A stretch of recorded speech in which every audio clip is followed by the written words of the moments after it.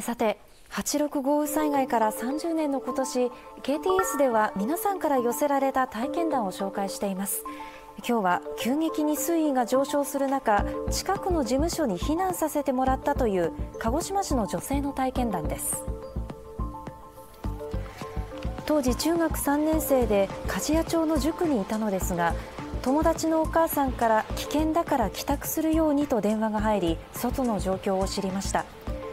バス停を2つ過ぎたあたりでバスが動かなくなり運転手さんから降りてもいいとアナウンスがありました。同じ地域の同級生がいたので歩いて帰ろうとなり平田橋から歩き出しました。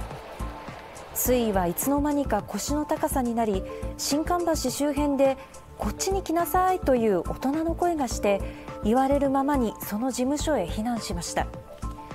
朝になって水位が下がりラジオの安否情報を聞いたという母が迎えに来ました。